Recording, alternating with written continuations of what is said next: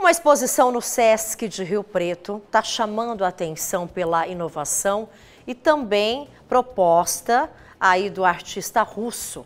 É uma nova proposta e a gente acompanhou também. Ele conversou com a nossa equipe e vai explicar um pouquinho melhor do que se trata tudo isso para a população entender e conferir de perto. Madeira, curvas e ao entrar nesses aparelhos, alguma fobia ou medo pode ser despertado. Etmobília é a exposição do artista russo Fyodor Pavlov. Antes de estrear em solo brasileiro, a proposta foi apresentada em Londres, no Museu de Design. O Museu de Design em Londres, que é um museu bem simbólico de lá, recebeu essa coleção pela primeira, mas antes disso, mas antes disso era mais uma uh, mais um episódio de Antimobília que fez três objetos, fez parte, fizeram parte de a Bienal do Mercosul em Porto Alegre 2022, mas era só um ensaio, né? Aí depois fizemos uma uma mostra mais uh, uh, mais séria lá em lá em Londres e agora Rio Preto é o primeiro um primeiro lugar do, de mundo onde a gente a gente tem essa chance de experimentar com o público brasileiro, porque eu acho que público brasileiro e público rio pretense é muito especial e já tem algumas pessoas testando os espaços. Neste, que imita uma gangorra, é tentar entender se a gente tem aquele medo da confiança, de confiar no outro. Esse espaço busca trabalhar isso nas pessoas. Já aqui, mesa de balanço, as fobias. Agora a fobia, que é medo de espaços abertos, medo de falhar, medo de pessoas e multidões, medo de ser ridicularizado. Vamos ver aqui como que está a experiência desse nosso amigo?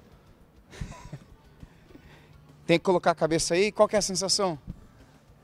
Uh, eu não caibo aqui né, para colocar a cabeça aqui, o tronco é muito grande. eu vou testar um desses espaços, o China vai me acompanhar. Esse aqui é o Pro Custo. As fobias aqui, medo de espaços fechados, medo de ficar preso. Não sei, eu, eu não me identifico com nenhuma dessas fobias. Mas vamos ver qual é a sensação? Você vem para cá, China, para pegar a entrada? Vamos ver? Vamos ver qual que é. Oh, meu Deus. O espaço já rodou.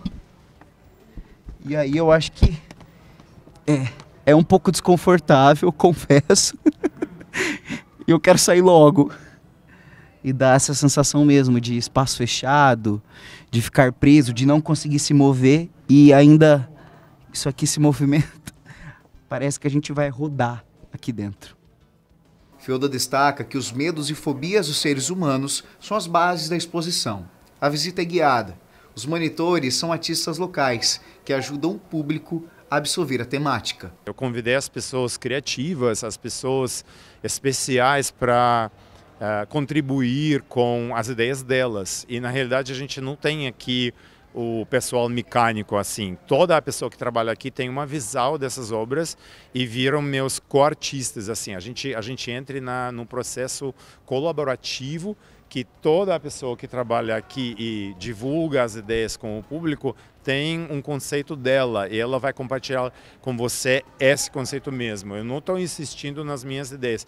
Cada pessoa de público pode ter a visão dela e aí eu, eu acho que essa visão é muito importante. Ellen e Paulo testavam dos aparelhos. Medo de ser observado, conhecer alguém novo. Ele trouxe uma sensação assim de bem-estar.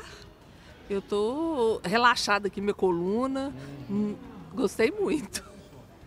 E aqui em cima tem outro, ó. Você observa quem está ali, né? Aqui. É, Qual é a sensação? É, é, divertida, eu achei. Não, não, vi muito algo assim tão, tão ruim assim, não. Achei bom.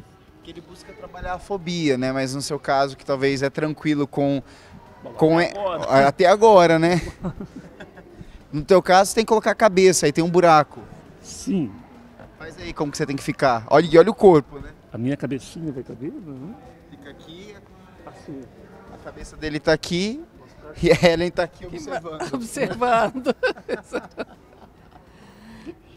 Mas vale a pena vir é, ver a exposição para participar, uma exposição interativa, né? Que, que tem muito é, a trazer para a gente, para a sociedade. A exposição fica até 13 de outubro no hall de entrada do Sesc Rio Preto. e pode ser visitado no horário de atendimento da unidade. Os nossos medos, nem todos medos são terríveis. Né? Algum, alguns medos nos ajudem até. Tipo assim, por exemplo, o medo de atravessar a rua quando o sinal está verde, por exemplo, é, ou tipo não atravessar com vermelho, porque isso é perigoso e tal. Então a gente a gente pratica esses medos aqui para evitar a tensão dentro do nosso corpo, porque o nosso corpo é muito tenso sempre, né? E aí essas esculturas talvez ajudem, ajudem a cabeça tanto como o corpo Uh, uh, para o alívio, para o relaxamento e para as coisas mentais também.